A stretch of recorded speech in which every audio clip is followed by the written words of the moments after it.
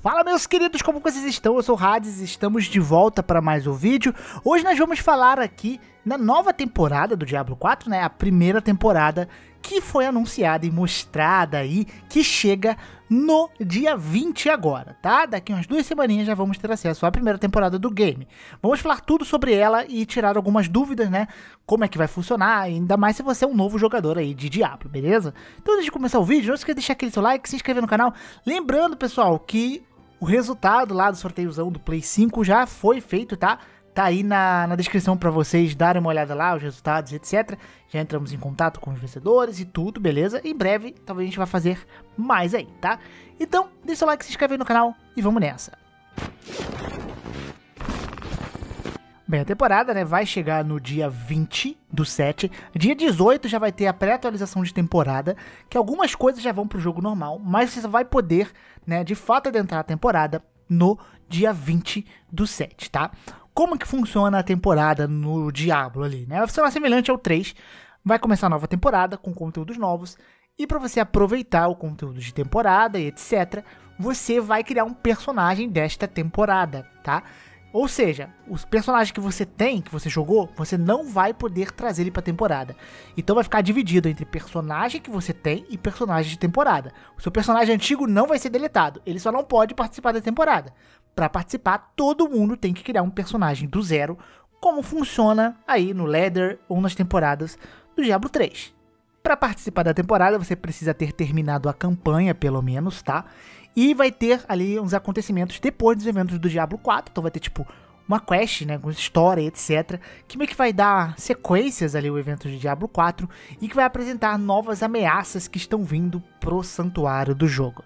Se você já tem um personagem, se você já explorou o mapa, por exemplo, fique tranquilo que tudo vai ser carregado ali, né, com exceção do seu personagem. Então, uma coisa que a gente reclamava muito e que agora, não só na Season, como no jogo completo, a partir do dia 18, vai ser o mapa. Ou seja, se você explorou o mapa todo com um personagem, você vai ter esse mapa todo desbloqueado na temporada e nos seus personagens sem ser de temporada também.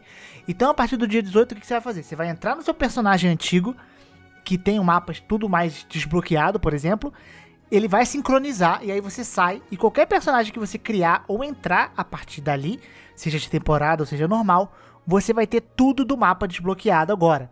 Os altares de Lilith já era desbloqueado, ele só não mostrava no mapa, por exemplo. Eu acredito que agora ele também vai ser mostrado. Mas as fog, né, tudo que era embaçado no mapa que você não desbloqueou, se você entrar com o personagem que você desbloqueou, vai estar tá tudo liberado para você, tá? Isso daí é uma coisa que eu reclamei, muita gente reclamou, e eles vão melhorar isso, né, pra temporada e até para as versões de não temporada. Então o mapa vai estar tá todo desbloqueadinho agora. O que é no saco, né? Você criava um personagem novo, ele só ficava desbloqueado algumas cidades, mas você tinha que explorar o mapa todo de novo, que não fazia sentido para mim. Então você vai ter isso agora, tá? Agora os conteúdos novos de temporada aí, tá?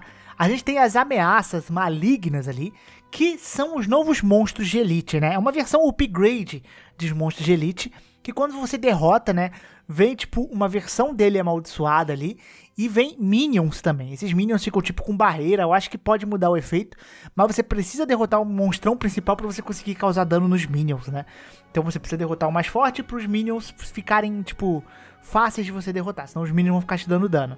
E isso daí, né, essa versão nova vai dropar um novo item que são os corações malignos. Esses corações malignos eles funcionam como gemas, eles têm cores e você engata eles em anéis. Então tem anéis que vão ter cores vermelhas, azuis e você vai colocar corações desta cor nestes amuletos anéis, tá?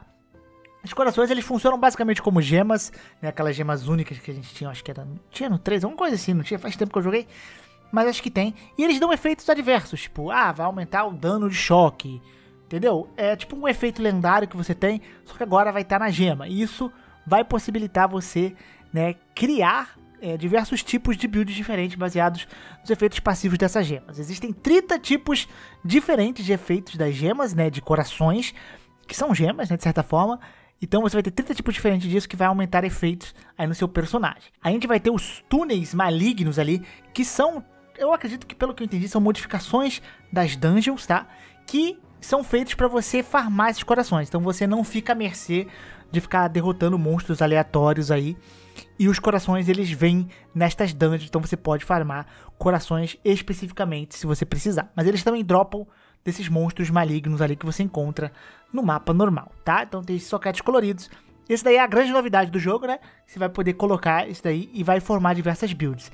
Claro que vamos ter novos lendários vindo, é, novos itens, novos inimigos, novos chefes globais, que vai também criar builds diferentes. Vai ter a buildzinha do meta da Season 1.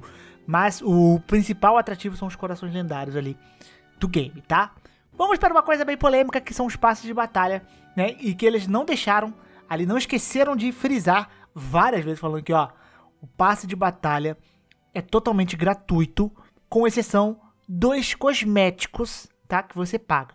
Ou seja, só item cosmético é pago. O resto, né, coisas que vão ser necessárias para você progredir, né, é uma mecânica que funciona junto com o passe de batalha, que eu vou explicar. Você upa esse passe de batalha e ganha, né, tudo ali é, sem precisar pagar, só se você quiser os cosméticos, o que não vai ser pay to win, nada do tipo, tá?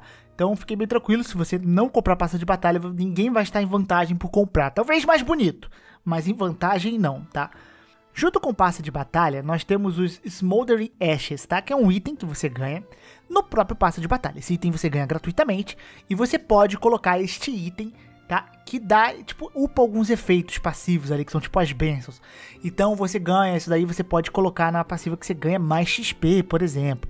Tem esse menu aí, vocês estão vendo, que você pode colocar esses Smoldering Ashes aí, que são ganhos no passe de batalha. Então eles implementam uma coisa a outra. Então você upar níveis, você vai upar o passe de batalha, consequentemente, que é atrelado a seu nível, e você vai ganhar isso daí. Né? Então são mais efeitos aí, mais coisas para compor o seu personagem. Outra coisa que a gente vai ter é um tipo um sistema de recompensa, que são objetivos dentro dos sete capítulos que a gente vai ter do game, né? Que é esse conteúdo pós-história aí. Então vai ter capítulos que você vai ter que fazer determinadas coisas ali e você vai ganhar recompensas com isso. Era parecido com aquele sistema de achievements, né, que você tinha de conquistas do Diablo 3 das seasons, né, que você precisava fazer. Mas eu lembro que se você ah, abrisse não sei quantos negócios lá, é, fizesse sei quantas coisas lá, você upava ali, você ganhava sets exclusivos, por exemplo. É algo parecido aqui, eles não mostraram todas as recompensas, mostraram só uma que você ganha alguns aspectos. Não sei se esses aspectos são aspectos novos, não sei como é que é, mas você tem esse sistema. E por capítulos você ganha coisas novas. Então, de dependendo do capítulo, você não vai querer fazer. Dependendo do capítulo, você vai querer fazer, porque vai dar boas recompensas, talvez, né? Então, assim, basicamente esse é o conteúdo de primeira temporada, assim, que mais chama a atenção, né? É, vamos ter algumas coisinhas a mais, né? Como eu falei, lendários, provavelmente vão ter até lá patches e mudanças que vão criar builds novas, além do, dos aspectos e dos corações aí, que vão criar novas builds, inclusive. Esse é o conteúdo de temporada. Inclusive, eles anunciaram que vai ter um patch que vai sair, acho que hoje ainda, né? Quando eu gravei o vídeo ainda não tinha saído. Então vão trazendo mais coisas, vão mudando algumas coisinhas do jogo até chegar a temporada, né? E é um momento para testar novos personagens, novos conteúdos, né? Ele vem, óbvio que totalmente gratuito. Você, não, você já comprou o jogo, você não vai pagar para receber temporada, nem nada do tipo, tá? Mas quem tá animado aí, quem ainda tá jogando ou tá querendo voltar pro game, né? As temporadas estão chegando. Se você não explorou o mapa nem nada, você pode fazer isso tranquilamente, porque você vai carregar tudo, tá? Pra temporada, então pode fazer o seu conteúdo tranquilamente, sem ter medo de nada. Tá? Você só vai perder o personagem, né? Que é padrão das temporadas e que faz bastante sentido. Mas é isso, meus queridos. Espero que vocês tenham gostado desse vídeo. Um grande beijo, um grande abraço, um beijo no popô. Até a próxima. Tchau!